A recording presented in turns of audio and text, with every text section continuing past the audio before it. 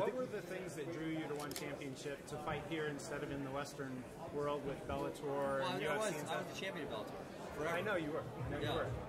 But Uh, You- you that was- decided to leave My, for my here. contractual dispute has been well established, so uh, I, yeah, I don't need to rehash that whole incident. Well, and I'm not trying to to make more out of it than what it is. And I'm, what I'm more saying is, what would you sell other fighters that think, oh, the UFC is the pinnacle and that's the only place? Yeah, I mean, a lot of a lot of How would you Americans, sell one to them?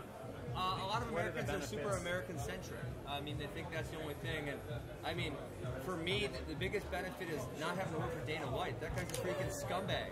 Like, even if he paid me triple what I'm earning here, which would be a lo- a boatload of money, I don't know that I can see myself working for him. He's just a, a terrible person all around. So that would be no- a number one.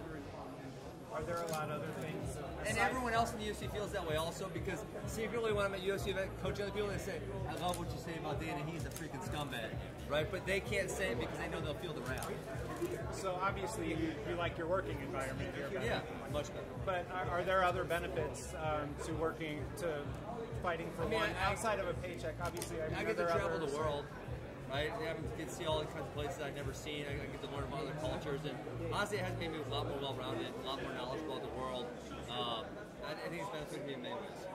Is it just kind of a people need to open their eyes and look around a little bit and not be Yeah. so? Americans are very American centric. That's, and that's I you know I, I was a geography student, so I, I knew that when I was studying geography, they're so focused on themselves and really like. I mean, when you look at Singapore, you can't see something like Singapore in the United States. I mean, when you look at this building, the skyline, you're like, oh my god, look at these buildings. It doesn't exist. Even you know, Chicago, New York City, like they're so old. There's not new buildings like here. There's not the expansion and the growth in Asia is really coming up. Where do you see the And I love America, and I'm going back home. but it's Not an American it's not like you know. But I'm just saying, it's not this and this, right? It's they're both great. It's not an either or. It's not an either or. They're both great. Where do you see the